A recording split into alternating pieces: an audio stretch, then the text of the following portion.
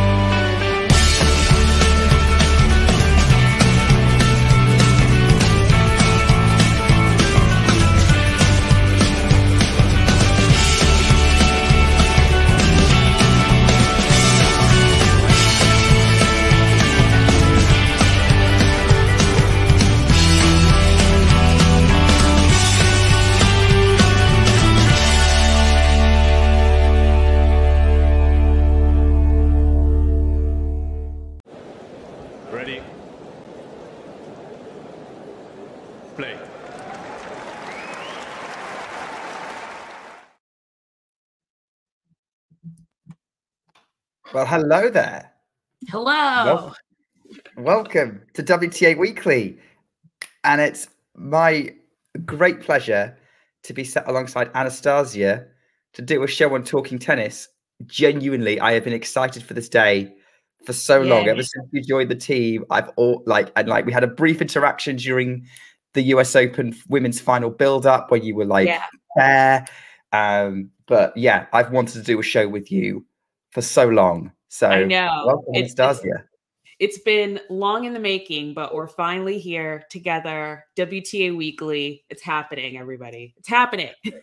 It's happening. I mean, what I find so we're going to get this plug out the way now. Um, is that what I find interesting is that obviously you're coming on the show, given that we we've just actually started a podcast together, Yes, we Um, have. which uh, you can check out. First episode came out on was it Wednesday?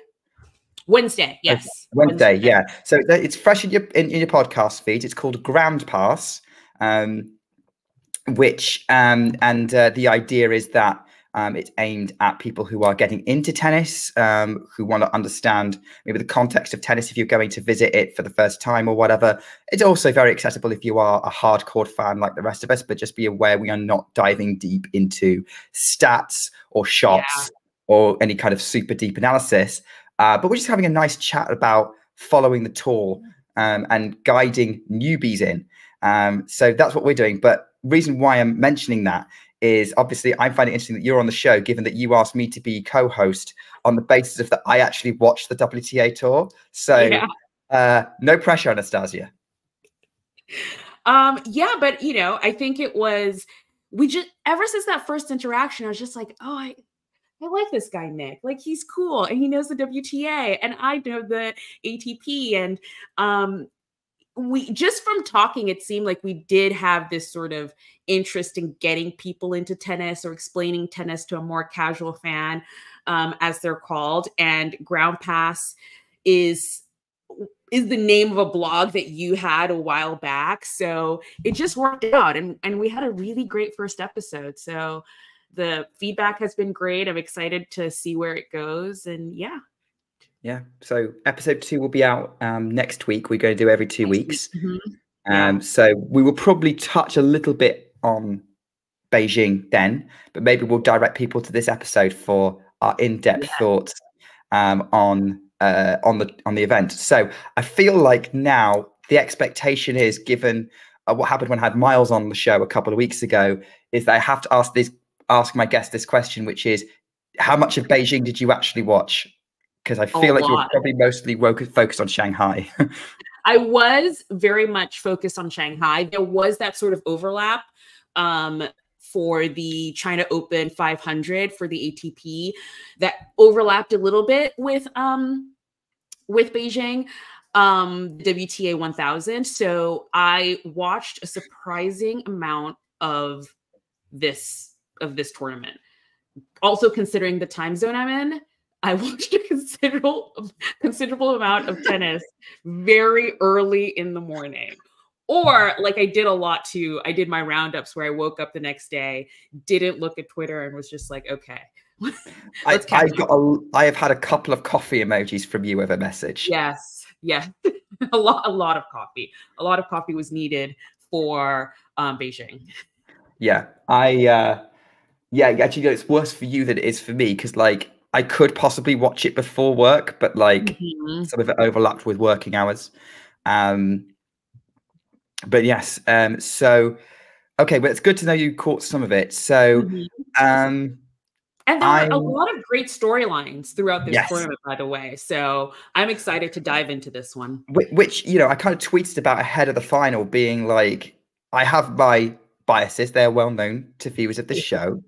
Um, but I also have, I, but I also have an interest in um, people, um, you know, doing well and breaking through. And Samsonova's a journey woman from the last couple of years, and it would have mm-hmm. been great to see her um, get a 1000 title and get one of the biggest titles on tour.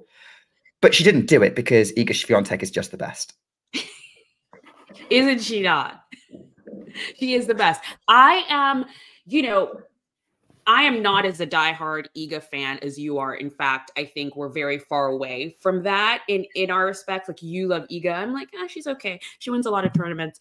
Um, Get off. you know, leaving that really great being a part of the WTA shortest episode ever.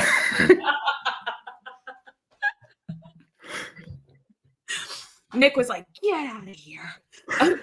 um, but you know what I love.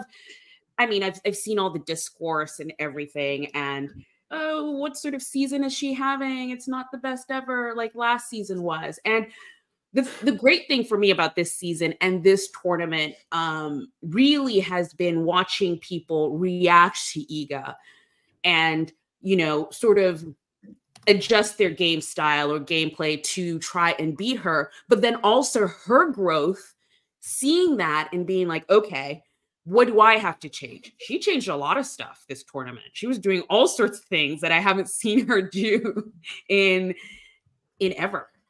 Really. I mean, I don't know if you have, but all the net play that she tried out this tournament was new for me. Yeah, she's Iga and um, sort of being a bit more variety was a little bit more common before Wiktorowski came in. Mm-hmm. Um, and she, uh, and basically Wiktorowski obviously sat her down and said, we know what works, let's make it better. And now we've gone, okay, we've we've made your strengths as strong as they can be. Let's now add to it. And yeah. she knew that she needed to. Um, so yeah, it was great to see. Yeah, all, these. Uh, you know, she came into each match and problem solved each individual opponent. It was great. Mm-hmm. She wasn't trying to win the same way each time.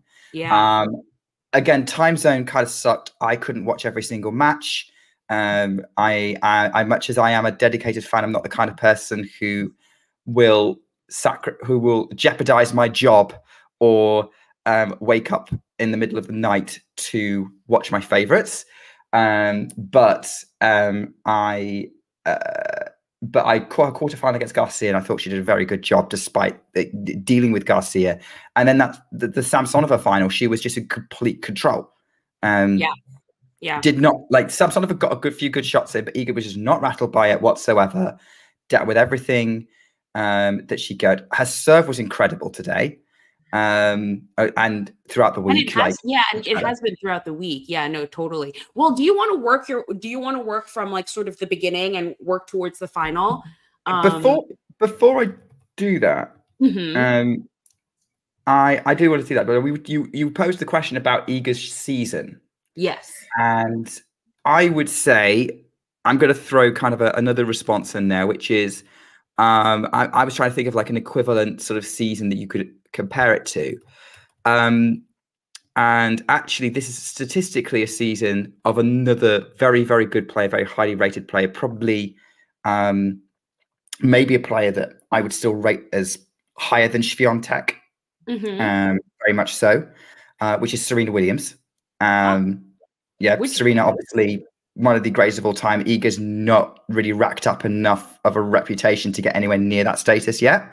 Yeah. Um, but how would you rate, assuming you followed this at the time, how would you rate Serena Williams' 2008 season? One slam, 86% win percentage. I see what you mean. Um, Very similar. very, very similar. I guess Didn't finish number one. right. Although, you know, which year? 2008. 2008 Uh, yes yeah yeah um sorry i was just reading the comments. But um i get i guess i just feel it's almost different it's different circumstances a little bit. Like i get the whole sort of like chasing the leader. I mean Iga still has a chance of ending the year number one. Um i just feel uh, is it weird to say? I feel like almost Iga has it had had it worse in the Yes, sense yeah.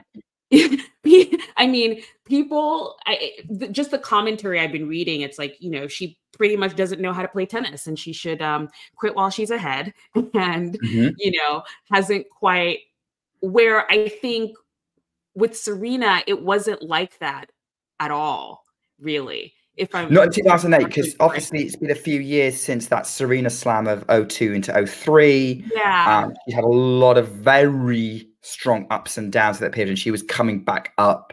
She had won a slam in 07 in Australia. Um, so yeah, she wasn't coming off the back of straight off the back of an incredible season like Right. Iga had. So yeah, Yeah. you're right. Iga has it harder because they're immediately comparing it. But I would also say the standard that Serena set even then and the superstar that she was, it still kind of would have put her under a similar scrutiny, but not necessarily the same. Yeah, I guess so. I guess I guess if you you could you could parse it out that way. I just feel like because Iga had such a dominant and unprecedented really season last year, even though in my eyes she had a phenomenal season this I mean this season was Yeah. awesome. She, she won a slam. She now has a thousand. She's won what was it five? Yeah, she has she's won five um tournaments so far. That's But more than anyone else on the tour. yeah. So I, I can't, I really don't understand how that can be judged as not a good season. And I think it only is based off of last year. Like Yeah. I, that's that's really it. Where with Serena, like you said, she did she did have a super wavy um record, and I don't think she had that immediate comparison. Like it was almost like she was just being compared to herself. Where with Iga, it was just it was a little bit of doom and gloom, really. I was like, Yes, I wish I- I, wish I could do this well, and people be and people say, Yeah, I, I- think there's a problem that we have in all sports where if someone does something, you're expected to do it all the time. yeah, Um, yeah, Now, I'm I'm hoping there is video evidence of this somewhere. I'm not going to ask John to draw through the Talking Tennis archives, um, but I now. I th- I always thought that um, Iga was gonna have what Iga's 2023 was not going to be as good as 2022 Ah, because if you look at history, like that doesn't happen. You don't have a season of two slams and a dominant segment. Um, it's very rare for someone to do it back to back to back. E- even Serena didn't manage it um, Right. really. Um, like 02, 03 was the closest, but even then, 03, because Henin showed up, was mhm, always like it's not seen as, as impressive as 02. right. Um, Henin obviously had that incredible 03 season, struggled in 04, came back 07, great season, retired in 08, wasn't feeling it anymore. Um, you know, you, there's there's patterns to it. Even Graf had, I think Graf's the last person to really string two really strong back-to-back seasons right. together. It's it's very rare for someone to maintain that. Like it would have marked Iga out as a incredible player, which she which she is, but like like topping Mm-hmm. topping last season would have put her in a different stratosphere i think You the only way you could have topped last season was three slams or even four. Right. Exactly um but you know, I think there there is that expectation in a lot of sports where you just have to be better every single year till the end of time, um, which no one has ever achieved. So people do go through these waves. Um, I, I just do feel there is something about Iga specifically that just brings out the sort of I told you so. She's not as great as we thought. you know, that person. so yes. I, I you know, I don't know why. Maybe she is she is very quiet. She is very reserved and uh, introverted. So maybe that's what it is. People find it easier to sort of put a narrative on her. Um, but that's definitely you know who is out there talking. And those kind of people come out the uh, come out very quickly. Mm-hmm. Um, like we've seen that. We saw that with Raducanu. We've seen that to an extent with Osaka. Actually, we I have encountered it in the last few days in replies to a tweet I put out about Coco Gauff. Oh um, right, yep. And yep. basically, I don't know what conclusion people were coming to, but like Gauff. So we are jumping around a little bit, but Swiatek beating Gauff um, in the semi-finals in straight sets. It was a straightforward win and like made the took the head from head head to head between them from seven one to eight one. Mm-hmm. And my point of the tweet was Gauff didn't do a didn't play badly that match. Iga had an incredible day. Yeah. And everyone's going, nah, the head to head suggests that Gauff's not that great against Swiatek. I'm like, you or could like say ever. that. also, like Goff had to play super well to beat Swiatek in Cincinnati, and Iga wasn't having her best day that day, but I don't think she was playing badly either. Right. Um, and if you look at every single other time they've played each other, I'm pretty sure Iga beat Gauff on the way to a title. Yeah. Like yep. that's Iga in her unstoppable mode. Well, yeah. Who no one could stop. a lot last so year. it's not I think that head to head is very unflat, overly unflattering towards Gauff. But yeah. the reaction is no, we're just looking at the headline and Gauff. But also, I think not that good. It's it's a lack of perspective in a way, um, because mm. unless Gauff is about to retire in the next year, she's 19 years old. she's 19 years old. Iga's 22 they have a head to head now. Like literally, unless you're saying one of them is about to retire, there's so much room to grow, to build on that head to head, to flip it either way because they are just so young still and achieving such great things at such a young age. So, yes, the head to head is 8 1 now, but who says it's not going to be 8 8?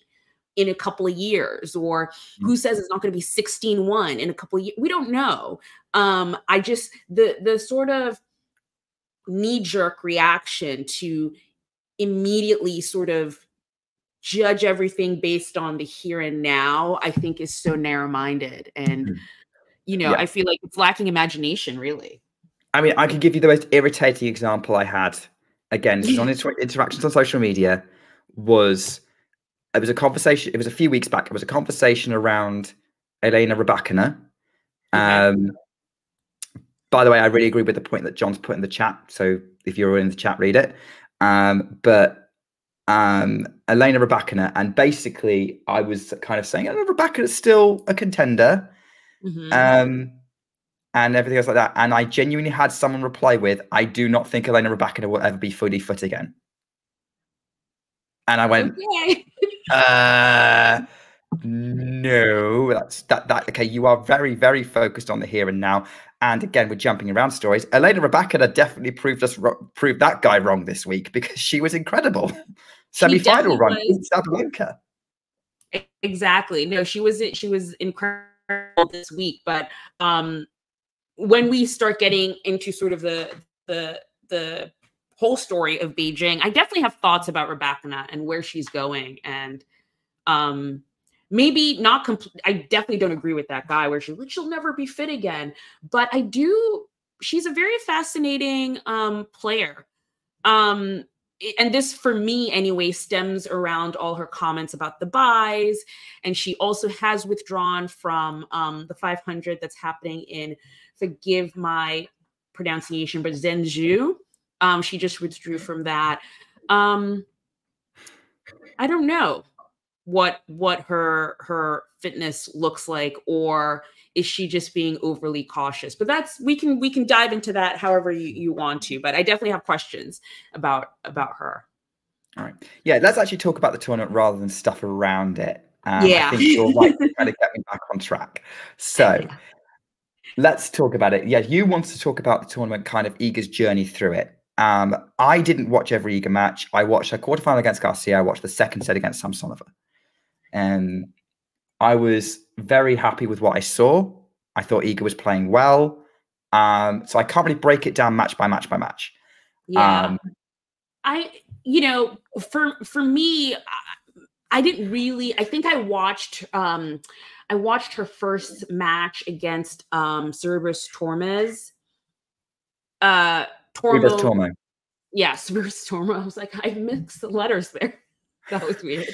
Um, but I watched the first match, and just from that, I just kind of, I, you know, for me, I understood the story. You know, I was like, okay, I watched that, and then um, Linette retired against her. No, no, no. Didn't was, was no Linette, Linette benefited from a retirement. Um, she exactly, and then um, beat her like six one six one or something. Yeah. It was it was demolition job. Was, yeah. um, but from those two matches, I kind of was like, oh, she's back. She's just she's she's dialed in. Iga does this thing where she just like locks into a tournament and she's like, well, she's gonna win it, guys, unless some, you know, mm. an asteroid hits. you know, Iga, Iga's getting to the finals and she's probably gonna win it. And I was right. Um, for me, it was sort of this tournament was I paid attention more to all the other players and how they were doing. So I watched a lot of Rybakina's matches. Um, I watched all of Coco Gauff's matches. Um, and who else did I really pay attention to at this one? I think Pegula. Pegula was another one that I was like, oh, let's see how she's doing because I hadn't really seen Gauff or Pegula since the US Open.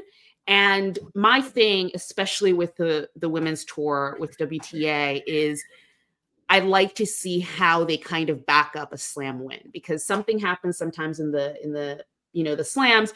You have a one time winner and you never hear from them again.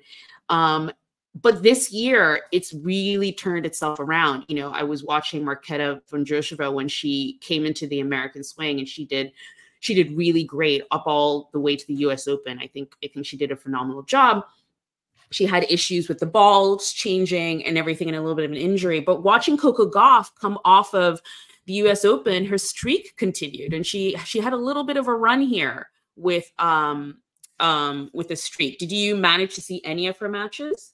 No, I okay didn't I I th- no I caught one. Which one was it? No it was a quarter. It was a quarter final against Sakkari and I thought that was a really really good match from Gauff she controlled yeah. it. She, no she totally she, did. I was so impressed. And it's interesting what you were saying there um, about sort of you know once you saw Iga beat Garcia like okay she's winning this. Yeah. I didn't believe that until she beat Gauff because ah. I I went into that match thinking Gauff is in incredible form Iga's in incredible form. Gauff's got that confidence boost of recently beating her. True. What's true. going to happen? And but, you know, I, I just Iga is such. I always say she's a robot, but in the best sense of the word, in the sense that she can lock in so hard. And I just knew she would not go back to back losses to Goff. Like I, you know, I, she did it in in um during the US swing, I just felt like she was going to sort of remedy that that loss and mm-hmm. and win. So and you know, so I did watch this match and I do think Gauff was impeded a little bit. She did take a medical timeout for her shoulder. So I do think she was impeded because I think what I what I noticed from Gauff's matches from up until that um semifinal was the the the sort of winning ugly mantra that she's kind of taken on hasn't left because i no. wouldn't say any of those matches she she played were just like phenomenal just straight tennis you know she won on the tennis i think it was very gritty it was very she just refused to lose which um, it's nice to see she's carrying that on. I think she came off really confident off the US Open win and just didn't feel like she should lose to anyone really. So I like that. So with the with the semifinal against Iga, I, really did think Iga was going to win no matter what. But I do also recognize that yes, Gauff did have a shoulder thing happening. So who knows? Maybe things could have changed if she was completely 100%. Yeah. Um, yeah. It, it, yeah, who knows? But yeah, uh, yeah, maybe maybe she was. But I agree with you on Gauff's game, and yeah, she's a scrapper. She yeah. will. She, you you are spot on when she says she refuses to lose, um, and uh, that doesn't necessarily work against Iga unless you're having a very very good day, uh, because Iga can out hit you. Um, totally um, if you're giving her balls to be able to hit off. I do like this question from Shun, though, mm-hmm. um, that I want to actually address. So, um, yeah, get in the comments, everyone who's watching. You can set the agenda for this. Um, I was going to say this meeting, but I mean this episode. Um, I'm not at work until tomorrow. Um, so, uh, do you think uh, Iga should play um, versus Ostapenko the same way she played today against Samsonova? I mean, more defensive and waiting for unforced errors and less offensive, trying to hit Penko like in the US Open? Yes, 100% yes. That is what I thought after that Ostapenko loss. She she has the ability to defend. Um, like I fully believe that she has enough top spin to just get everything back. Um, and I don't see why she couldn't play like that if she needed to. I think when Iga feels pressure, her instinct is to overhit, and that's been an aspect of her game that's been around since time immemorial, or at least for as long like for as long as she's been a pro. Um, and yeah, I, I thought the same thing after Ostapenko. She definitely can play more defensive. That is the way she can deal with the bigger hitters. Um, Sabalenka seems to be a bit different because she can compete with Sabalenka's power for some reason in comparison to like Ostapenko and Samsonova, who are just blasters. Mm-hmm. Um, but yeah, that's that's kind of my perspective. Do you want to have a tackle at that? Yeah, and you know, I think Ostapenko just happens to be, I think, a player that can easily be frustrated.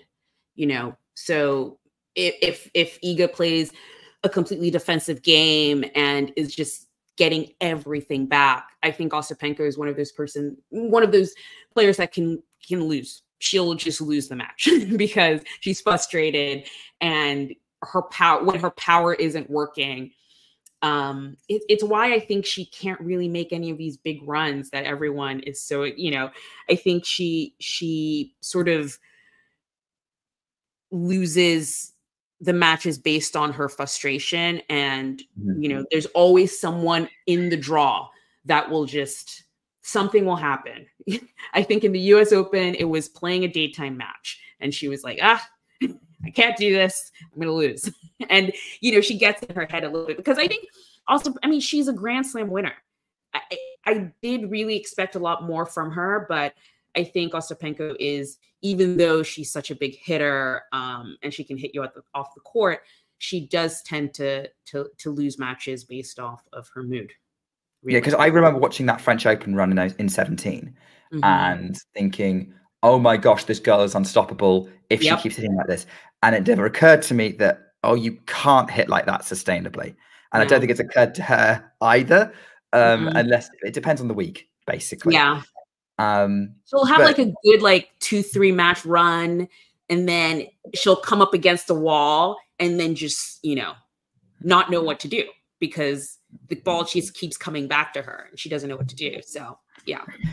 Uh, but Samsonov is a different uh, player anyway, um, and you know uh, Iga has beaten her twice already. Like I think the head-to-head's very, very much in Iga's favor. Samsonov yeah. showed that she's able to challenge Iga in that Stuttgart match they had a couple of years ago, mid-streak for Iga, and mm-hmm. probably came closest of anyone to actually beating her during that period. Um, but uh, look, uh, but she's yeah. When Samsonova is on, she's difficult to stop, and she proved that this week. Like she she unstuck Rybakina. But here is here is my thing though, because I don't think she was on this tournament. I don't think so. I I really don't because I I watched her um match against Ostapenko and I watched her match against some son of uh sorry Rybakina. Mm-hmm. And especially with the one with Rybakina. I think Rybakina could have taken that. The first set went to a tie break, right? I saw the first set and I was surprised Rebecca didn't win it. Right. And it I think part I, I don't know if Rybakina lost a little bit of steam going into that second set after losing, you know, the tiebreak. Um very similar to Miami final with Kvitova. Mm-hmm. Yeah, I just don't think you're right. That's actually a really good comparison. That's a really that's a really good comparison because I really did not think Samsonova was playing well. I just don't you know, she was serving well. I will say that she was serving really well. And Rebecca now has that funky serve now that I we were talking about on Twitter that I I just find it fascinating. I think she's putting an extra beat into it, which seems yes. odd. Um, so for anyone who doesn't know, who hasn't watched it, you know, she does this thing now where she'll drop, then like shift her body. I just thought it was her arm, but when you notice that she was actually moving her whole her shoulder and her body and then tossing, and I was like, why is that an added movement? Um, but anyway, maybe it's it's working for her now um because she has been also having some hurt this was actually the first time i hadn't seen her shoulder taped in a long time mm. so i don't know if she changed her serve based on that or or what it might be but i really did think rebecca played better tennis in that um in the first set lost the first set tiebreak and then i think she ran out of steam because i really don't think samsonova really played fantastic this this tournament I think she but, played better in Montreal. Possibly. But then mm-hmm. that's still fantastic that she got to a 1000 final playing like yeah. that.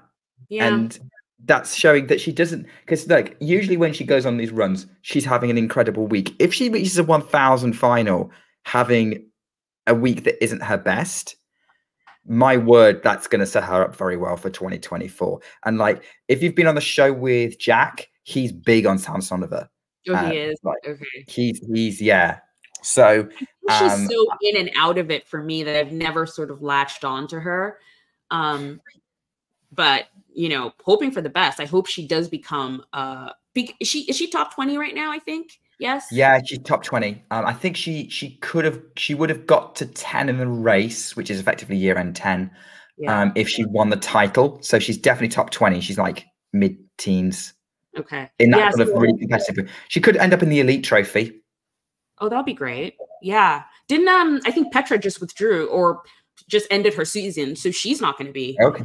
Um doing the elite trophy. So maybe that leaves room for more people to come in. But yeah. Um yeah, I hope I hope 2024 she continues. I think I hope she continues through 2024 because she's great to watch. Her serve is beautiful. Her serve is fantastic. So um it would be nice to see her be more of a fixture on the tour. I think it'd be brilliant. Yeah, I would. I would. Uh, I think she uh, having her name in the mix would definitely add to it. And like, I'm one of those people who is like, yeah, the more good names, the better. Like, totally. it's not. We, we're moving. I I am more than happy with 20 people who can win a major, um, in a tournament. Um, it makes it more exciting because you're like, who's yeah. who could it be? Which brings me to Mira Andreeva. Oh yes, Mira Andreeva. I I mean, you didn't watch much of the tournament, so I'm guessing you didn't see any of her matches. Uh, Andreeva, no, I I didn't watch any of her matches. She is another one who, and I think maybe it has to do with a, with youth. Um, she kind of can beat herself, you know. Um, mm-hmm. her match against Barbora was, and was clinical. I was like, and and again, I thought, oh, is Barbora tired? Is she coming off? You know, like, but it was so good. You know, it was like, where did this girl come from? And then that first set against Rybakina, I was blown away. I was like, what are we seeing? You know, I was like, what are we seeing? Is is Mira Andreeva gonna gonna win Beijing? Like, it was that good? Um, yeah, I I was I had that on live score, so yeah, I didn't see that. When was that? That was um what day week was that?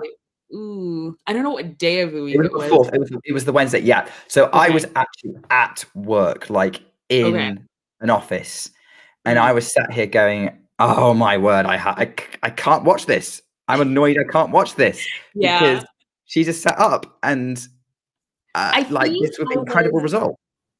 I think I even tweeted about this, but I was set to watch some match in Shanghai. I can't remember now. Oh, no, no, no. What- Was it either the finals of Beijing or one of the semifinals of Beijing? I think it was that. And it was supposed to be like this really big head to head. I can't remember what it was right now, but I stopped. I was like, oh no, no, no, I have to turn this on. Like this is this is bananas. This is this is crazy. Um, and literally as I turned it on, watched that first set, and I was like, oh my gosh, Mira Andreeva's back. Where has she been since Madrid, basically? Um, you know, she's about to take out Rybakina. It was almost like Rybakina woke up and was like, I'm, I'm a top 10 player. Hello, my name is Elena Rybakina. I'm a top 10 player. But what I realized was Mira had no answer to that. She just got so frustrated. And I really do think lost because of that. And actually, that's very similar to what happened to Key with against Keys at Wimbledon because she was Mhm. up. She should she I don't want to say should have won that match because that's harsh, but very much could have won that match. And what happened was Keys changed it up, and Mira didn't know how to deal with it. Yep. And I think and it's that the same comes with experience. Like that's something I would expect a 16 year old to react. Yeah. a uh, I don't think I like I I, I wouldn't if, if Andreeva managed to adapt to a top 10 player dining up then oh my word no one can stop her Watch out, Iga. Here comes Mira. no, but really, it seems to be her little bit of kryptonite. Like she did the exact same thing against Coco Gauff in during the French Open. It's like she comes out firing, and you're like, oh my goodness, this is an absolute blockbuster style player. She's so good. And then she comes up against some sort of friction or aggressiveness and she just dis- she doesn't disappear because she actually just gets really angry and boisterous and is throwing rackets and you know all that stuff so um I, I hope she grows out of that because I really do think she could be a force if she grows out of that. Like that first set against Rybakina, you she felt like she was the top 10 player. She just she she came out there with so much confidence, especially think I don't think they've met before.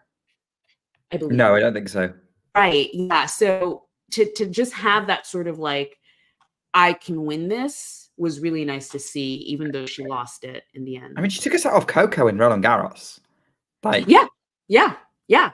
And and th- it was ex- it's like it's like clockwork for her.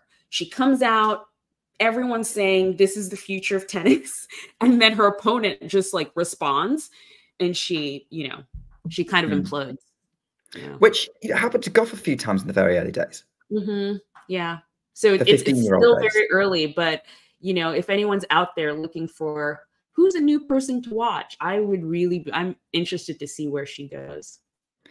yeah and you know she she was the first person we mentioned on the podcast I think She was, she was, I think. Yes, she was. She was. Uh, She's a star in the making. She's a star. Hopefully. she's pretty close to like uh, yeah she's um she's going to be a big name for a while I think Yeah. um, or definitely talked about for for a while. Um, okay, so we've jumped around a fair bit in Beijing. Um, One more person, well, two Yeah. more, but in the same in the same sort of sentence. Katie Boulter, I really Yes. think is so close to having a moment. She's she's she's this close, guys. She's this close to having a moment. Um, her match against um Sabalenka was chef's kiss. It was great. It was awesome. I, you know, she really took it to Sabalenka. Um, and I think the difference between the Sabalenka that won the match against Katie Boulter and the Sabalenka that lost the match against Coco Gauff is that she didn't get angry and frustrated and just try doing the same thing a hundred times, even though it's not working. You know, I think she really adjusted. She really um and she was calm. Like I feel like that that US Open final, she was so frustrated and angry and talking to her team and talking to herself and just like a lot was happening where when she came up against Katie Boulter, who I think played phenomenally, like I think it's the best I've seen Katie play in a long time, ever really.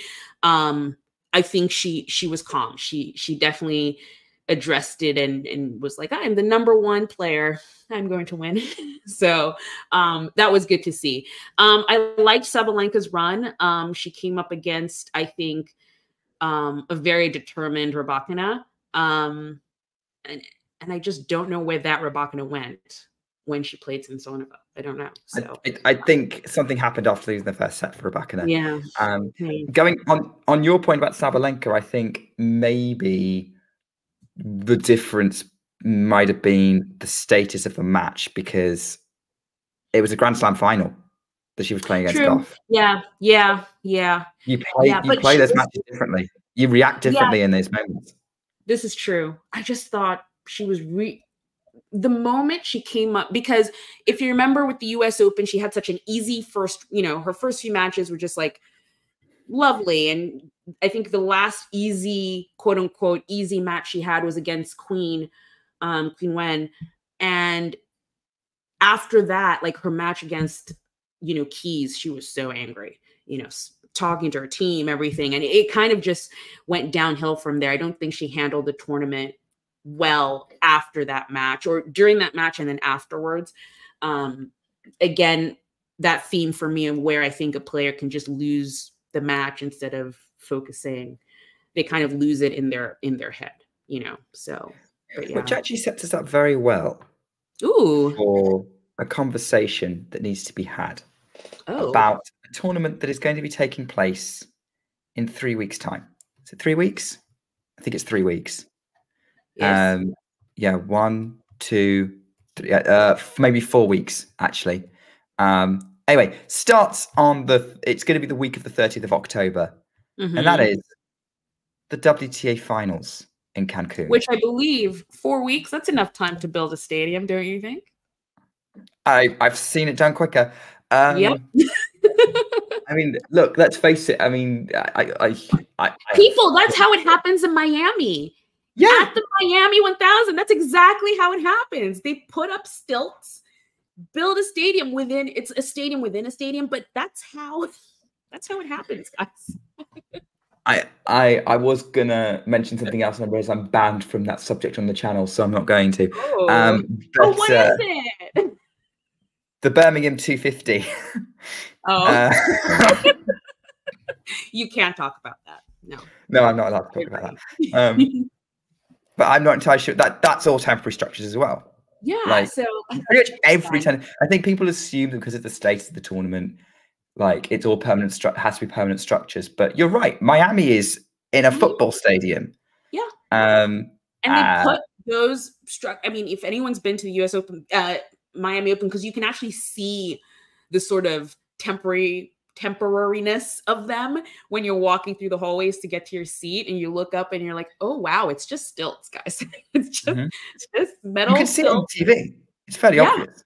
Yeah. So um that was a fun little um people getting you know aggro over unnecessary things, but whatever. Yeah, that, yeah. It, it's just not worth I again, Formula One fan. I've seen Formula One tracks that level of completion a month before a race chill. Yeah, I think um, actually between the Miami 1000 and the Miami Grand Prix is less than a month.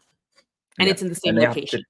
Take that all down and yeah, they have to take this tennis down. And, and yeah, so guys, everyone calm down. Let's let it happen and then we can comment. Wait for yeah. it to happen. But yes, let's talk about Cancun. Yes, because Cancun has got Oh my word! I am so excited for this tournament. We have our eight players confirmed several weeks out. It's unusual. We're not going to get Anett Kontaveit style last minute qualification. Um, we are. We have our top. We have our eight WTA finalists, and they are Aryna Sabalenka, Iga Swiatek, Coco Gauff, Elena Rybakina, Jessica Pegula, Marketa Vondrousova, Ons Jabeur, and Karolina Muchova. Um, just to kind of just just to kind of hype this up a little bit more. This is why I'm excited for it. You have four major champions, Sabalenka has won Australia and Madrid. Swiatek has won Roland Garros and Beijing. Rybakina has won Indian Wells and Rome. Gauff won Cincinnati and New York. You've got Vondrousova who won Wimbledon. You've got um, Pegula who is the obviously the consistent runner throughout the season, but also one in Montreal. And then you've got two Grand Slam finalists. All the Grand Slam finalists are going to be there. Yeah. Um, that's that's how it should be, really. That's and, and it's brilliant. like it's fine. It's an it's an eight that all had great seasons. Everyone has a storyline that took them through. Um, and guys, even Marketa, because she has her little, you know, she was in a cast, you know, a year mm-hmm. ago, and here she is, a Wimbledon champion. So I think everyone has their story. I think it's they're all exciting matchups too. Like all of them I'm just like, ooh, they're all exciting matchups. And and we're also going to get a fight for who's going to be year end number one. Yes, and that's the other thing I'm excited about. I mean, come on. What else do you want from a year end final? All of those things. And we get like competition of who's going to be year on number one because I can't remember now. Is it 300 points that separate or like 400 or something? it's 700. Oh, 700 points that separate them yeah, right yeah, now? yeah. Good person Okay, to follow was less, on these kind of things is um, Ji on Twitter. Yeah. Um, he he does a lot of breakdowns of things, and actually, he's got a tweet that basically breaks down all the scenarios for who could be world number one at the end of the tournament, how many points they need to get, like where they would go. And he said in ten percent of those scenarios, Swiatek overtakes Sabalenka.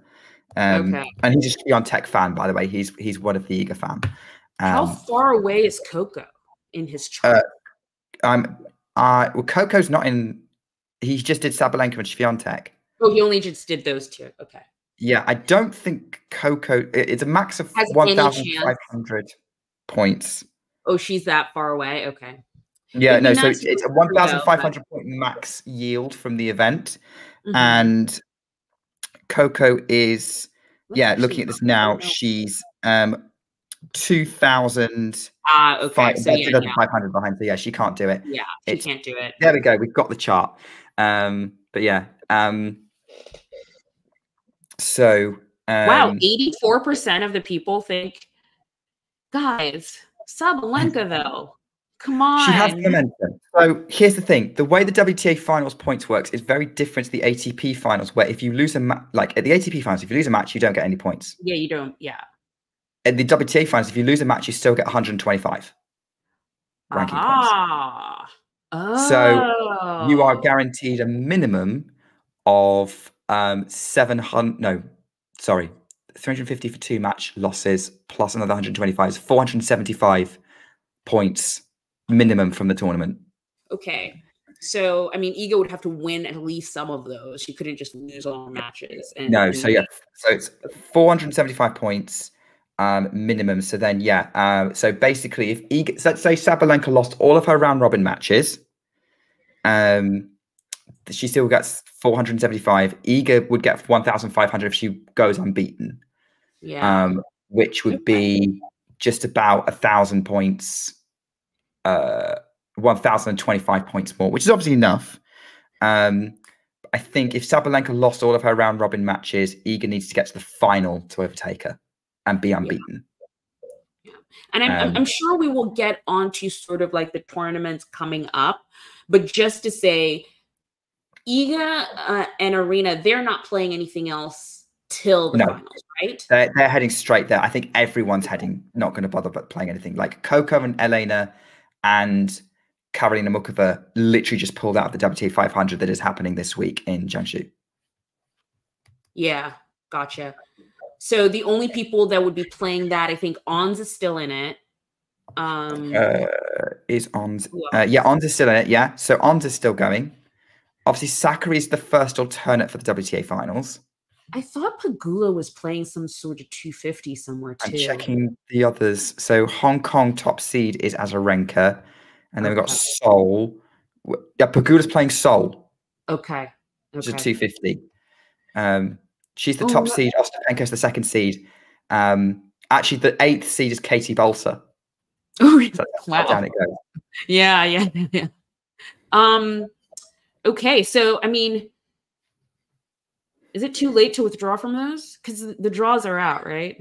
It's not too late, but obviously it doesn't look it doesn't look great if you Yeah. do. Yeah. Okay. Because even with Coco, even with the three that withdrew from Zhengzhou, um, I mean, they basically just gave walkovers to Mhm.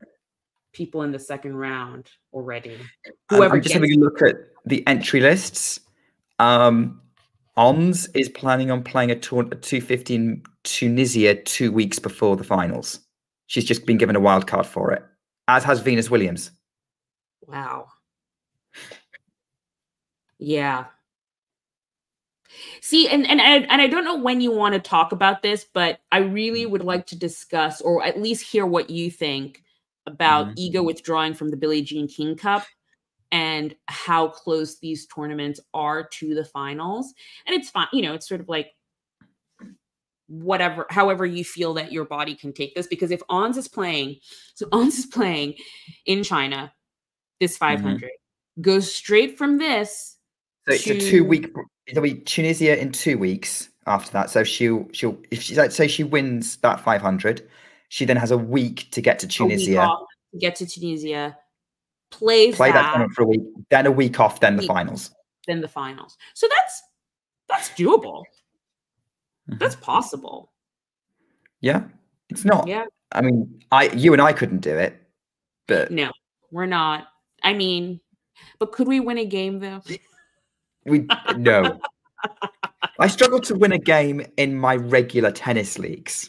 I have to say that was my favorite stat thing that ever came up when it was like US players think they could win. I mean, it was so good. I was like, only us, only us would think this. But yes, anyway, I think there's some Brit. I think there are Brits who think that they just won't say it they just want in a public in a, in a public poll. They'll say it in a private conversation.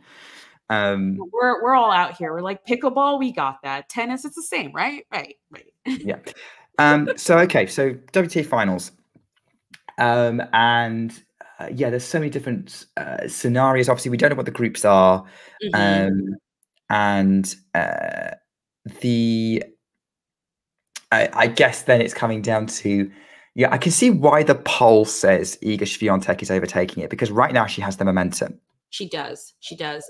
I mean, that's kind of why I asked if either of them were playing anything up until um, the finals. I think it gives maximum rest. You can have time to work out whatever kinks, whatever you need to do. You pretty much have a month off to dial things in, um, which can work great for other people. Like for, I mean, it can work differently for both of them. I just think that works the best for Iga. Iga needs that time to sort of hone in and focus in, and then she just comes out a beast at the end of that month. Like I can't see how she doesn't come out of a month of rest just ready to, like, you know, flame. and in many- just In many ways, actually, she's she might be trying to right or wrong because I think that 2022 WTA finals was a missed opportunity for her, as much Mhm. as she had missed opportunities in 2022. Um, but I'm I feel like she, in she her list of out goals. a little bit when she lost to Yeah. Sabalenka in that semi. Mhm. Um, that was my understanding. She just had one bad game and that was it. She was gone for the rest of the match. She Yeah. wasn't. She wasn't coming back. And Sabalenka played well. They always have a battle. Um, and actually, I've just done the quick math, and if they played each other in the final, Sabalenka's confirmed as number one. It doesn't matter. Uh, it wouldn't be a winner takes all type scenario, which is a shame because I would be up for that. But That would be nice. That would be kind Um, of like US Open men's edition 2022. But anyway, um I, I do think the time off, the rest benefits Iga more. I think she's planning, you know, I think, you know, players, they all have a checklist of what would we like to do in this season. I think part of her her list was winning the WTA finals, you Mm. know, and I think pulling out of Billie Jean Cup, Billie Jean King Cup again, um, is yeah, I, is, I, I is- yeah, I think her. I think it's a, it was a ridiculous expectation to expect someone to play in Mexico on a Sunday and play in Europe on a Monday. Mhm. Um, like that's an extreme example. I don't think they would have asked Iga to do that, but um, I think she made the right decision. yeah. Um, I mean, this was the whole reason why on the men's side, because of the Davis Cup, it kind of pushed back China a bit. And that's why we had this weird thing where um, tournaments were starting on a Wednesday and ending on a Wednesday, and it, it, it confused everybody. Um, it's finally getting back um, to how it usually is. But I, I mean, I don't blame her. It, it, I think people are, which is why, unlike most people, I'm a huge, I was a huge fan of the performance byes because I thought you have to consider air travel and what it does to some people. Not everyone gets jet lag or um, is totally, you know, ruined for for a day, but it it does take a lot to travel across the ocean and then play the next day. I think that is so so demanding on on on an athlete's body to be able to do that. So I mean, I'm a fan of performance byes. I know that's a totally different topic, but I really wasn't surprised by her. we saw what it did to Iga in just a trip to, across Australia right at the beginning of the year. Yep. Um, exactly. Yeah, got through her, her group in the United Cup, no problem. Switches cities. She's not had the best trip. Pegula was much more acclimatized to the conditions. Pegula had the advantage in that match. yeah. Um, so we we saw what happened there. Like Iga was just not herself. Mhm. Um, so yeah, I think I think it's it's a reasonable decision. I, I, yeah, it's and and I think I would be surprised if anyone playing the WTA finals plays Billie Jean King Cup. yeah. Yeah. Um, That's, but a, hey, a shame, though. make- yeah. yeah, but we can make the most of those WTA finals because they said, you know, although Iga versus Aryna will be the biggest story, there are others. We we want to see. Okay, what happens to Coco Gauff when you throw her in the middle of things? I actually think Elena Rybakina might win it because she's got a great record against pretty much everyone else in that tournament. Yeah. Yeah. Um, and It's actually a uh, really good storyline that I didn't think of. How does Coco Gauff now in this top eight? How does she, you know, which was top eight last year. yeah. No, I know, I know, but it, it was a different field last year. It was a different field last year, guys. Yeah, Um, there seems to be some sort of echo. Do you hear that, or is it just me? It's probably just you. uh, might just be you. Is there? No, it's better now. It's fine. It was it was there for a second and then left. But um one person I am going to be looking out for is Ons Jabeur. I Mhm. actually didn't realize she was playing this China 500 and a Tunisia event and then going to the WTA finals because I just think she's not she's definitely with her win um in Asia is I think her mood has improved and she's she's feeling she looks better at least. But coming off of Wimbledon she has been one to watch because it's been dismal. You know I think I watched her a few times at the US Open and it was one of the most I, painful events because Ons is a player who takes you on the journey if you can if you know what I mean. Like she takes Yeah. you there. She's like you are with me. Let's go together um and it was pretty brutal. So watching her win in Asia was great but I'm still sort of like iffy on her form and you know not really knowing where she is. I did read a comment though. I did read a comment recently which is why you know it's like you never know what players are going through but it was something about how she didn't even think she was going to be able to play this season due to some sort of injury or something like that. So that was interesting to to hear based on how she actually ended up doing. Remember Stuttgart? Ooh, that was that was also very very painful to watch, you know. So she's she's one that I'm going to be really watching during these finals to see. And actually, I'll be going to be watching Karolina Muchova for similar reasons. Ooh, uh, yes. Yeah, because we know how injury prone she is. She's not played since the US Open, Yeah. but we know how good she is. Like she's beaten Sabalenka twice. She came damn close to beating Iga in a Roland Garros final. yeah. Um, like uh, she's she's uh, she she's reached the the the Cincinnati final. Uh, you know she's come close, and there's that big title everyone's waiting for her to win, and everyone would love her to win. Um, and we we I'm confident in her. Um, yeah, she's the only one in the group. I mean, she's been a finalist, obviously. Um, but yeah, she's the only one in the group who hasn't won who a hasn't 1000 won anything. level. Yeah. I mean, she's won a 250. Has she did she, so she she has won a tournament this year? No, not this year. Yeah. Yeah. So I think she's the only yeah, she's the only one who hasn't won a tournament this year. She has been re, on, in some really great finals. Um so yeah, you're right. She is also another one to watch. It's not unheard of. I think 2017, Caroline Wozniacki won the WTA finals, having literally won her first title of the year like a couple of weeks before. Yeah. Oh no. Again, definitely not unheard of. I'm sure Hmm. there's a list of people like that. Um, but just but I, I can't think of anyone who's like that was their only title of the year. Um, Yeah. Maybe Brad Radwanska in 2015, but I think maybe she would have won a title. But I'd, I'd have to do some digging. Um, but yeah, it, it, it's unlikely. It would be, mm, but then it'd be the WTA, and that's why we love the WTA. and that's why we love it. Yeah. So there you go. So we're hyped. I know I will do a much bigger deep dive into Cancun um, when it all comes around at the end of the month.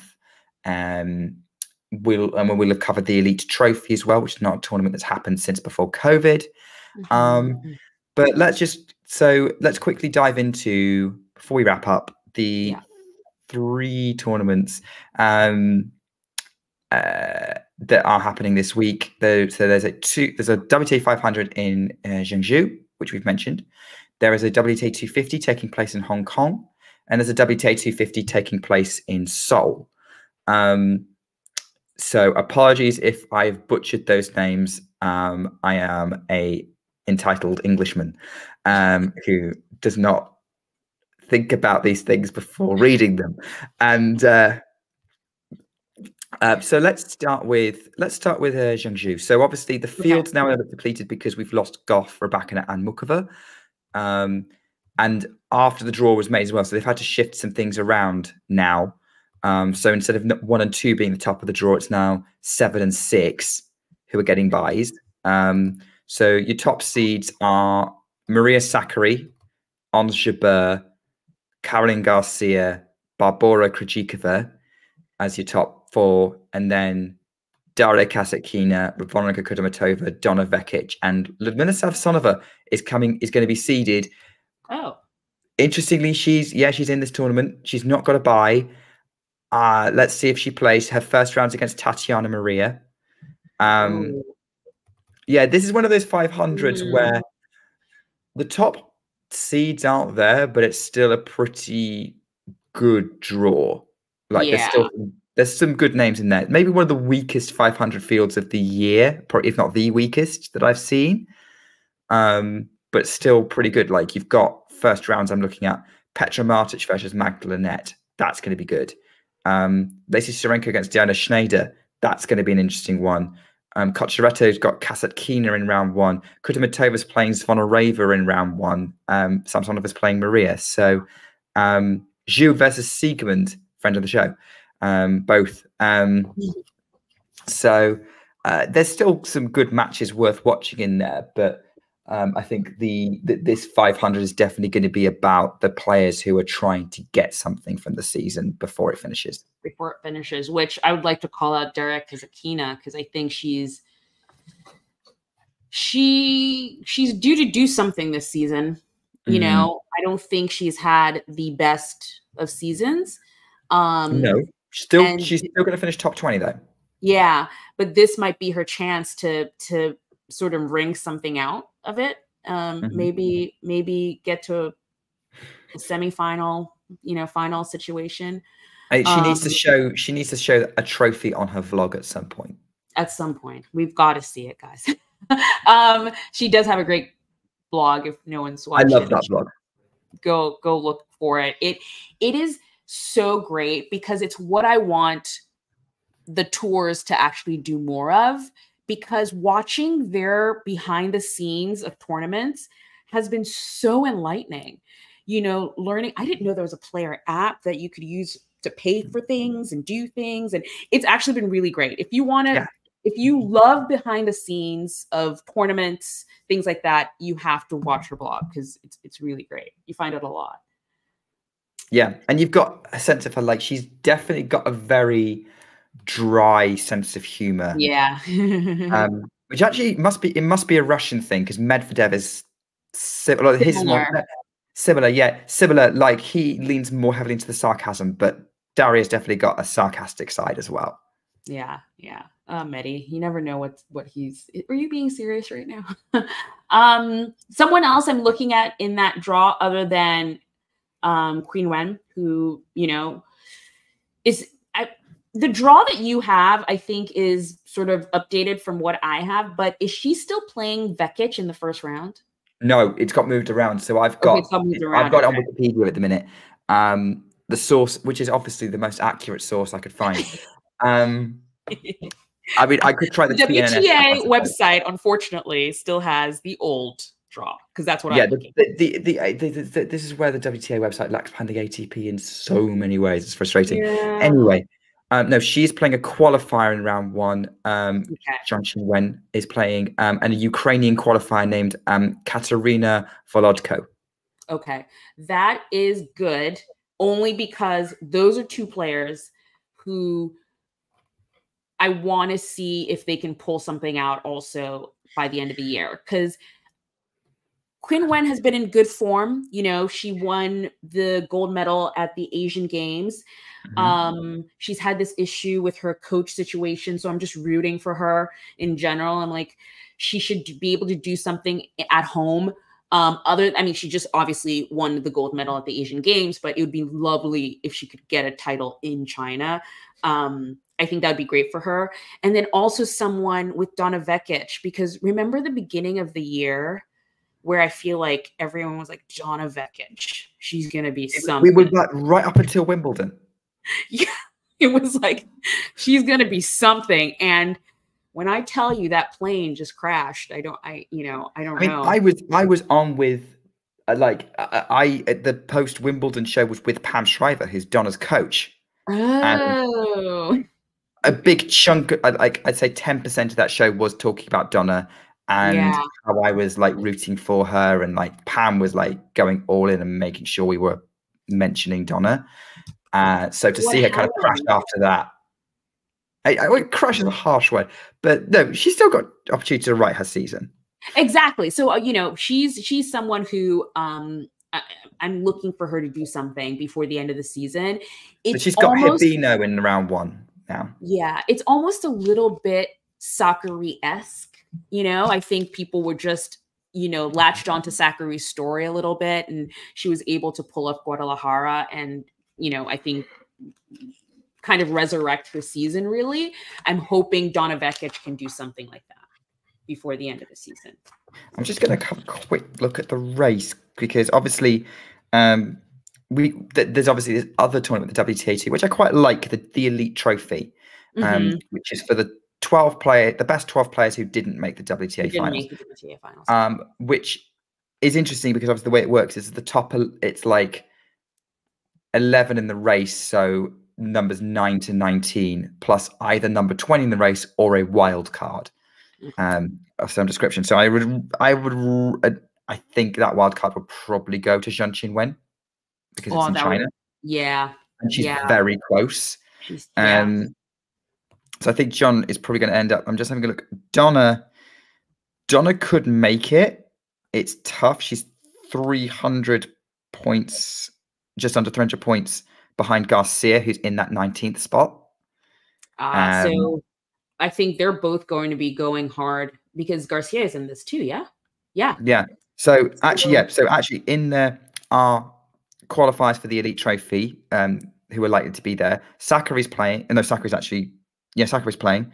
Um, Samsonova's playing. Krejcikova, Kudermetova, Kasatkina, Garcia is like the people who are already in that bracket, and then the people chasing that bracket who are in the draw um, are Zheng Qinwen, Magdalenette, and Donna Vekic, who are just outside of it. Um, Mm. Also, maybe trying to get into it are um, Alexandrova, who's in Seoul, and Azarenka, who's in Hong Kong. Okay. Um, I'm just having a look. Yeah, those are the names to be looking out for for elite trophy qualifications. No point going further down the list. yeah. Okay. You know, so yeah, those are. I mean, in in that 500, that's who I'm looking at. To I also just saw Veronika Kudermetova's name. Who every time I see her name, I'm like, well, she could win. well, you, you kind of. I, I think she could. Like in a, in a draw like this, she definitely could. Like she's She good could. enough. hmm She's one of those Uh, pickles that you see and you're like, oh, she could she she could win or she could be out in the first round. Who knows? Uh, and and uh, maybe a similar name is um Krejcikova. there. Yes, as well, especially post um post Guadalajara. Yeah, because well, she didn't win Guadalajara. She she Yeah, didn't no, she didn't. She won. Which one, which one did she? She Oh, won no, San um, Diego. San Diego, San Diego. I was like, she wasn't one of those. Or it was San Diego. All I remember is Clearly, her. what, you weren't watching uh, Vanch's updates from it. Anyway, so um, uh, I um, so yeah, so she hasn't really played. Then she went to Beijing and lost to Andreeva in round one. Yeah, don't know if she played another Asian tournament before that. Um, so yeah, did, but I- Kajika is now back almost where she start. She was before Mhm. San Diego. yeah, In a way, it's like, oh, oh no, that didn't kick off how we thought it was going to kick off. Which is a shame because I like Barbie. yeah. Which was the one before? Was that? It was in somewhere in. Was it Do? No. Which one did she win earlier this year?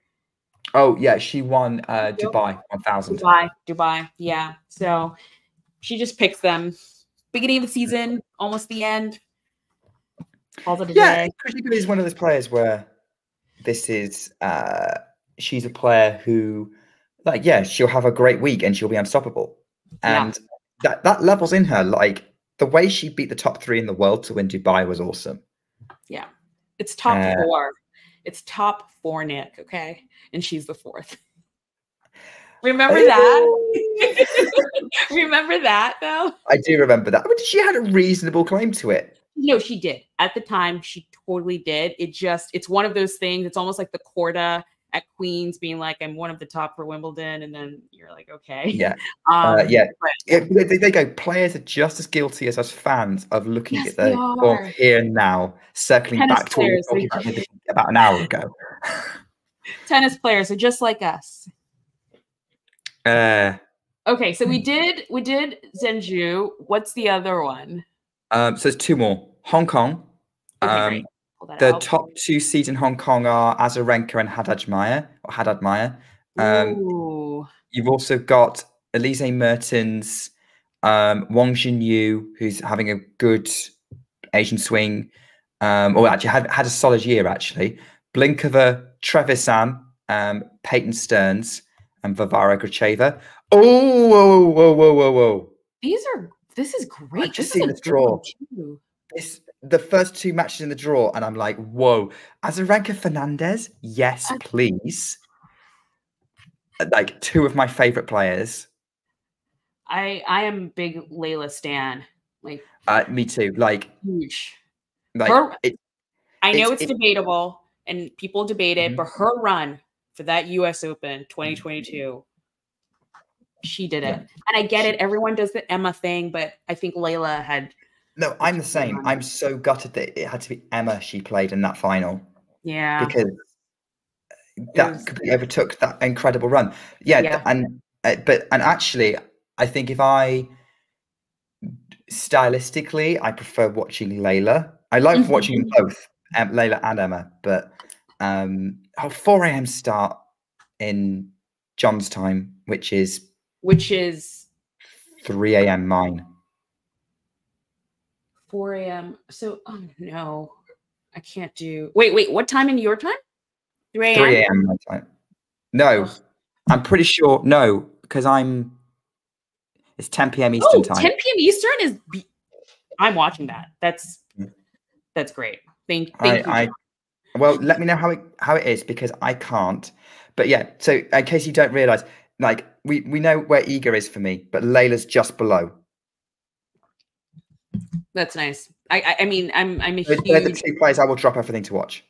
I I every time I watch Leylah, I'm just I'm rooting for her so much because Mm. she just puts. But this draw, I, I'm also just looking at this draw, and This is the first time I've seen it. Oh my word! Andreeva match, Yastremska, Fruhvirtova Stearns, live draw reactions, people. You didn't know we did them, but we do them now. Um, um, and Wang Siniakova, and that's one Jiu who's doing well, and um, Sasnovich Haddad Maia. That's oh okay. Yeah, Guys, so there's a few more exciting first rounds. I mean, to see how the rest of the draw plays out. Yeah. Um no, but the the some they're really really great first round matches here. Um so two really great draws before before that I'm I'm loving this. Like who do you who are you liking here to see what they can do? I mean, for me, just heart wise, it would be lovely to see Leylah make a run. She mm-hmm. hasn't really done so all year ish. Am I? Let me think. Not really. No, she's. I don't think she's won a title this year. Yeah, she She's, really she's kind of running into tough players. Yeah, I, I think it hasn't really. Well, no. Well, anyway, she hasn't really done one. It'd be nice to see her do it. And then Beatrice Haddad Maia, I also have a soft spot for her. Um, I've seen You her like lefties, don't you? Left, Yeah. lefty grinders. So let's see how she does. I haven't seen her play. I haven't watched any matches that she's played since the U.S. Open, so it'd be it'd be interesting to see, um, just to watch her. Um, and you know, now I'm a freaking now I'm a Mira Andreeva stan, so watching for her. Yeah, I. I, I'm looking at this draw going, maybe Mira might win this one. Look, Mira, who beat Rybakina in the first set, would win this tournament. She just has to put it all together. She just has to, you know, grow up.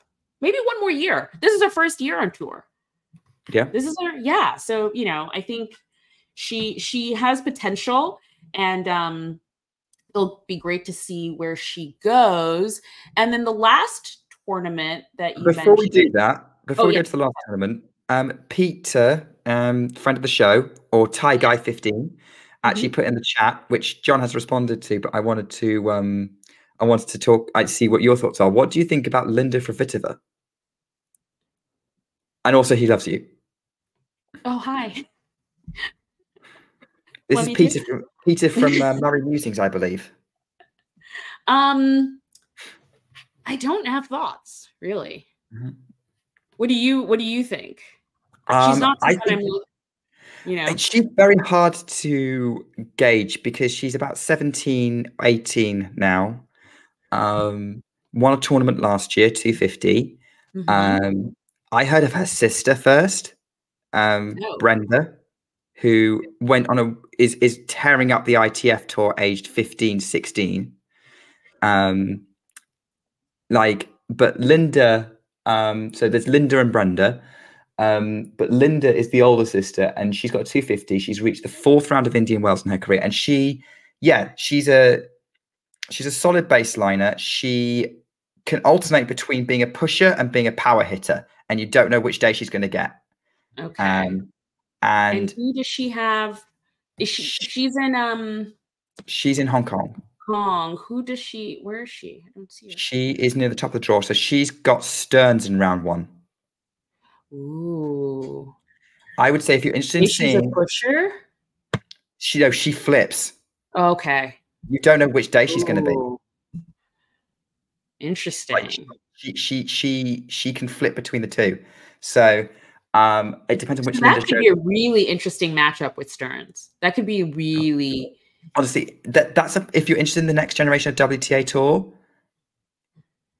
that's a match to keep an eye on. That's yeah, yeah. those Um, are those are the young guns. I, I think Linda's someone who has a lot of potential. I don't want to really put a label on where she's going to be. It's another freaking middle of the morning. Anyway, um, this, this, is watching tennis in Asia and Australia. I just don't watch tennis because I like because I like my sanity. Um, but um, like watch tennis at this time of the uh, in this time zone. Um, I mean, Cancun's also going to mess me up because it's also going to be middle of the night. Um, I'm I'm happy for Can. I'm like, oh, thank goodness Cancun won. Although I love I love tennis in Europe because I just wake up early and Yeah. I watch the matches. You know, I wake up by I'm up by seven anyway, watch the matches, and then that's my day. Then I can move on with my day because by 11 they're all done and you know, I can carry on. So I actually really like tennis in Europe. um, so I can get the you know my my morning tennis. There's, that's, that's probably what you're used to in the, in the states as well. Right, last tournament because we've been going on for a while. Um, Seoul in Korea. So your top seeds: Jessica Pegula, Jelena Ostapenko, Katerina Alexandrova, Marie Bouzkova, Sofia Kenin, Alycia Parks, Arantxa Rus, and Katie Boulter. Um, looking at the draw, Pegula's got there's no buys. Pegula's got a first round match against uh, Renchkova. Podoroska's got the first round against Krueger. Could be interesting. Um, the other Kudermetova, Polina, has got Parks in round one. Boulter versus Eubank could be a battle. Um, that's probably the first round match that stands out to me from this list. Uh, but it's probably going to, if, if the top seeds stay in the draw, it's going to come alive nearer the end. Do you think if Boulter gets through that, though, she's looking at a quarterfinals? Like, look at it. Yeah, I, I think she'd be a favorite against um, Yuan. Depends because Yuan could be challenging. Um, yeah. But I overrated her in one tournament and I re- regretted it because I back. I think I backed her to win an Asian title and then she lost first round. Oh. Um, which happens. That's not her yeah. fault. It's it's my it's like uh, you know, tennis is not a game for my pleasure. So like, you know, no. uh, her um quarterfinals, yeah, she's got a really good opportunity for quarters, and then maybe even semis actually, because that really depends on how Bouzkova's doing. I was gonna say because I was like, oh, like she could beat. I think she could beat Bouzkova. Same. I mean, it would be nice to get a Brit you know, back in sort of there's just no Brits. And I mean, she's top 100 now, but yeah. 50 no, nearly. Oh, is she top 50? She broke top 50 briefly. Oh, yeah. It would be nice to see someone consistent in that in that range and she she this year has kind of poked her head out to be like it's gonna be me um yeah she's 59 in the race okay not bad so fingers crossed. Yeah. Yeah. I think um, she can do it. Um, also, I mean, I think it's easy to just say this is Jessica Pegula's tournament to lose, you know, um, her being the mm. top seed, but she's in good form too. So I, I, you could say that. Well, she didn't, she didn't have a great Beijing, did she? Who did she, Who did she lose to? She lost to oh, she lost to Ostapenko, which again, okay, that's a bad loss because no. Ostapenko. But Ostapenko's in this draw. Like you could get a Pegula Ostapenko final. Ooh, that'd be nice. That, that would also be nice. Although having said that, I am looking at this draw and I'm looking at this potential Kenin Ostapenko quarterfinal. I'd be up for that. Same. Kenin is someone who I want to latch onto and she gives me hope sometimes. She gives me slivers. And then uh, like she did um was it San Diego that she really had a good run. But also I don't know what she's what her injury status is really because her thigh has been strapped, strapped, mm. you know, like worse than Alcaraz. Like so I don't know. Um I don't know where she is. Are you about to play Vashta San Diego Open, John? Did nice. I did I say San Diego three times and that's what happened? We've said it too many times. I mean, Van- Vanch had entered the chat, by the way. Ah, that's why. Hey,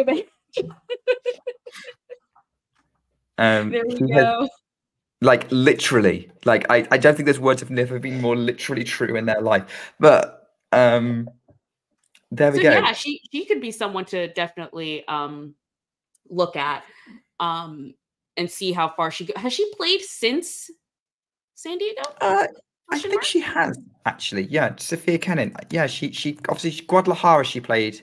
Okay. Um, she got to the semi-finals and lost to Dol Dolehide. Um, who was? Where is she? Where is where is Dolehide? We, we'll, we'll, we'll talk about her in a minute. Okay. Uh, I'll check. Um, so, um, by the way, Kenin then lost to um, Sabalenka in round one of Beijing. That was just a tough draw. Okay. Yeah. Yeah. Yeah. That, yeah. I, she was crushed, by the way. Um, oh gosh. Okay. Dolehide. Uh, She's just broken top 100 because of that result. Um, Yeah. I don't know where she is. Um, I don't think Yeah, she's in she doesn't Asia. play since Guadalajara, I don't think. Yeah, I don't think she's in Asia. She probably, you know, there are a few players like that. Like I think um Taylor Townsend didn't go to Asia. Um, so I just think there are a few players that just stayed in the States and are doing like challengers and things like that. So she's probably on that swing, but she was a nice sort of revelation as well in Guadalajara because I just loved the way she played too. So hopefully she has a, a fruitful 2024. Love that. Um, okay. Wow. We've we've What got else can you we covered. talk about? I mean, we we like. I'd love that. I'd love that to have to keep chat. Look, I'm always up for ch- chatting tennis with you, and that's the danger of like starting a podcast with you. You have to. By the way, how you edited an hour-long conversation to 45 minutes, um, like well done. But you know, here on WTA Weekly, we're a little more um go with the flow, and like everything we say goes out. Um, is live. Um, uh, and but it's been nice just being here and having a little bit of unstructured tennis chat that's kind of relevant to what just happened. Yeah. I think that's basically the summary of the episode. Um, usually, um, uh, yeah, yeah, John. uh, We, we also, yeah, this is not going to get edited for the podcast form. This is going out as is. As Um, is. Live uh, with it. Um, so if you are listening on the podcast form, um, hello, thank you for sticking with us. Um, please follow us on We podcast have gone on a journey. Please like and subscribe if you haven't already. If you're following us on YouTube, follow us on Twitch, even like give us a sub on Twitch um, if you are here on there. Um, but yeah, this has been a lot of fun. Um, I think I can safely say the show has been a dream come true and lived up to expectations. Yes, we did it. Oh, whoa. I don't know where that came from. I don't know how you did that, but well done. For everyone listening and not watching, I just had some fireworks explode behind me because I think it was the two thumbs up. So the new Oh. iOS thing, it does things like I think it'll do something if I do that. Yeah, like that. Um, right. I think it does this too. Okay. Great. You're I think- giving the producer ideas now. This is going to Oh, be no. all over this place. So sorry, John. Right. But wasn't it perfectly timed though? That was Yeah. the most perfectly timed fireworks display ever. I feel like Um, that's something maybe we should we should go out on. We can't we can't top this moment. We've No, we we've the can't. fireworks off. Um, so let's just roll with it, and uh, yeah, we're gonna go out with a bang, people. So thank you, Anastasia, for coming on and talking and um, talking tennis with me on WTA Weekly. Um, keep an eye on the channel for more content on its way as we start to make our way through the end of the tennis season. And I will be back next week, probably on Sunday, to wrap up everything that's happened in Asia this um, as the tour leaves. So thanks so much, Anastasia. Take Thank care, you. everyone. Keep talking tennis. Bye. If you enjoyed this video, make sure you hit that like button. Don't forget to subscribe and click that notification bell so you don't miss out on all things tennis.